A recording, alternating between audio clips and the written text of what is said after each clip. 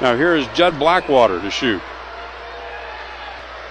Blackwater's 0 for 4 this year. Moving in against Berube, was slowly gets Berube to commit and then just wiggles it around him and in. So Las Vegas now leads 2 to 1.